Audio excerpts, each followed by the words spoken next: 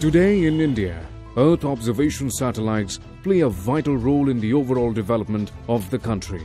The inputs gathered from them aid in a variety of tasks like weather monitoring, urban and rural planning, agriculture, forestry, watershed development, natural resource mapping, coastal zone mapping, oceanography, cartography, and many more. Our country has a number of state-of-the-art Earth observation satellites which are dedicated for various thematic applications and generally operate from low Earth orbits.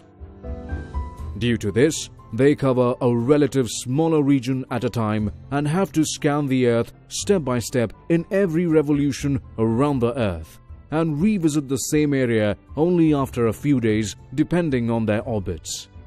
However, many applications like meteorology and disaster management require imaging large areas of Earth and atmosphere very frequently. For this, the satellite has to be placed in a geostationary orbit, which is at an altitude of nearly 36,000 kilometers over the equator.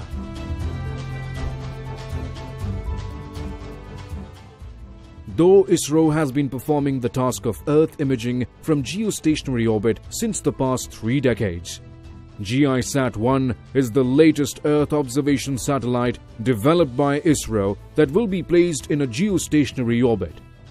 From its orbital location, GISAT-1 will continuously observe land, ocean and atmospheric parameters at relatively higher resolution, ranging from 50 to 320 meters using appropriate spectral bands for different applications.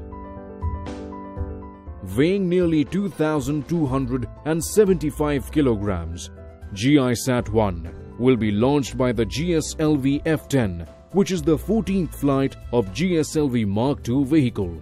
The rocket will take off from the second launch pad of the Indian spaceport at Satish Dhawan Space Center, Shar, Sriharikota.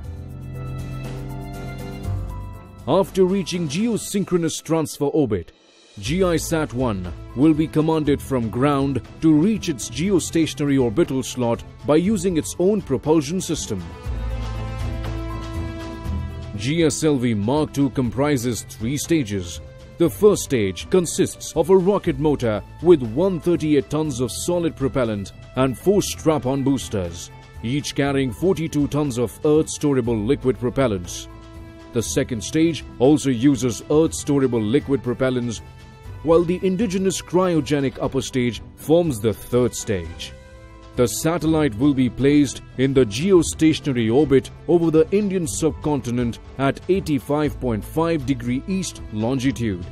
It will generate two-dimensional imagery by slewing in west-east direction and stepping in north-south direction.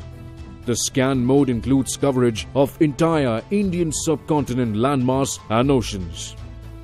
It has multispectral, multi-resolution imaging instrument which is capable of imaging full or part of the Earth disk with high-resolution multispectral visible near-infrared, hyperspectral visible near-infrared, and hyperspectral shortwave infrared.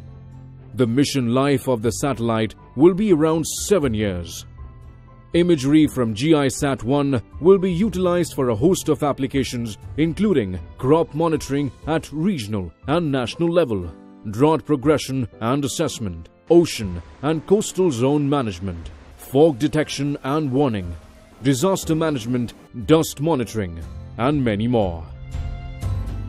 Indian Earth observation satellites are an excellent example of the country's technological strength in harnessing the space technology for the development of the country.